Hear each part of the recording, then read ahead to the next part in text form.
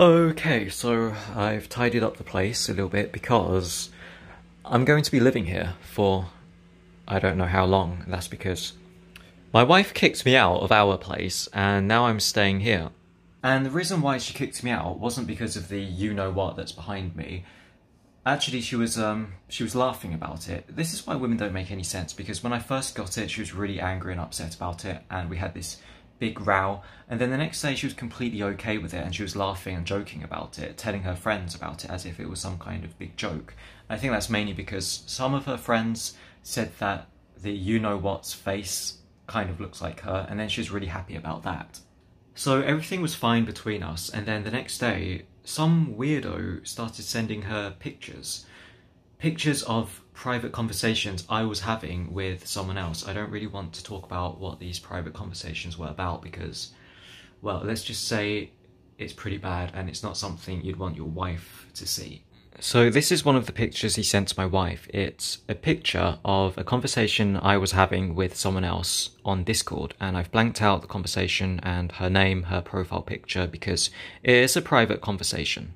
It's really strange because it looks like a reflection in a screen. It's not a screenshot. It looks like he's just taken a picture of his computer screen and you can see these reflections in the background I don't know what this is. There's like a, a black square shape here, and then there's like a white shape here. I'm thinking this might be his phone, or maybe this could be his phone. I've just been thinking about how, how the hell did this person take this photo? It doesn't make any sense. If I've been hacked, then I would know because I would get an email saying that someone logged in from a different location. And I definitely haven't been hacked because I have a very complex password and I have two-factor authentication turned on, so there's no way I've been hacked. And the person I was talking to also said she hasn't been hacked because she would also know if someone logged in from a different location. And if we had been hacked, why didn't this person just take a screenshot of our conversation instead of taking a photo of a screen? It looks like he's taken a photo of his computer screen, that's why there's a reflection. And I've got other photos as well that the same person sent, and as you can see, this bit, you see this little bit here? This bit matches with this bit. I have no idea what this is, but I'm guessing it's his phone, this square-shaped thing. I think this is his shoulder. I don't know why this is in black and white. For some reason he sent one picture in colour and then four pictures in black and white to my wife. And this one's the creepiest one because if you look closely, look at this. What is that? I can't zoom in. Look, if I zoom in, doesn't it look like someone's forehead? It looks like the top of his forehead, and this is his hair.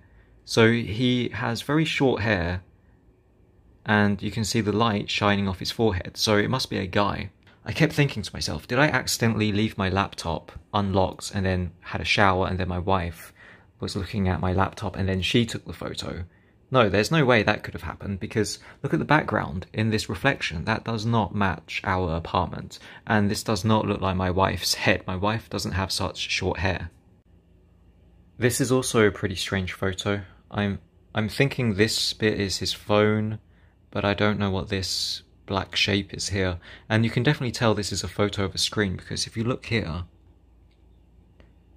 there's like a a smudge or something on top of the text? Why would there be a smudge on top of the text if it was a screenshot? So I'm pretty sure it's not a screenshot.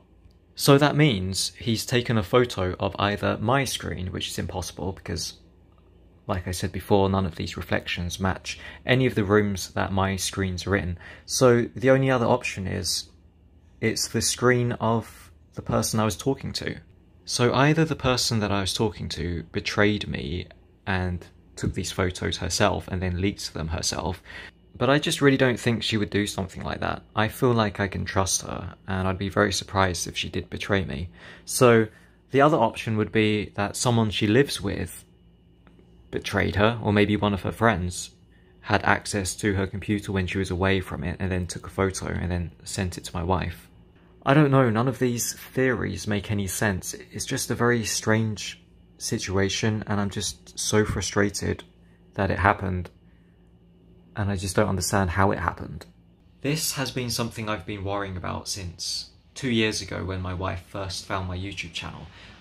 I didn't want her to have a direct line of communication between the people who hate me because they end up sending her weird stuff like these photos and then I get into trouble. I tried really hard to keep her identity a secret. That's why I never said her name. I always called her my wife and I tried to hide her face at the beginning. And that was because I didn't want people to find her social media and then start talking to her privately behind my back. But then she started letting people know her social media, like her Instagram, and then she started coming onto my Discord and she was messaging people, trying to get information about me. My wife is very happy to be in contact with these people who hate me because they're very dedicated and somehow they find out about nearly everything that I'm up to and my DMs get leaked things I say that I don't want my wife to hear end up finding her way, finding their way to her. And I just get all of this hassle and headache because she's in direct contact with these people. Things would be so much easier if she didn't speak English and she wasn't interested in social media or trying to spy on me. I said to her, I don't think I can be in a relationship with someone who's constantly spying on me and constantly talking to people who hate me. It's just so irritating. Ever since she found my YouTube channel, we've had so many arguments and so many problems. Before she found out my YouTube channel, we didn't have any problems. We didn't argue about anything. There were absolutely no problems. Well, that is the current situation. I'll be here for I don't know how long, depends how long it takes for her to cool down. She was pretty angry about it, and I don't blame her, I'd be angry as well if the same thing happened to me.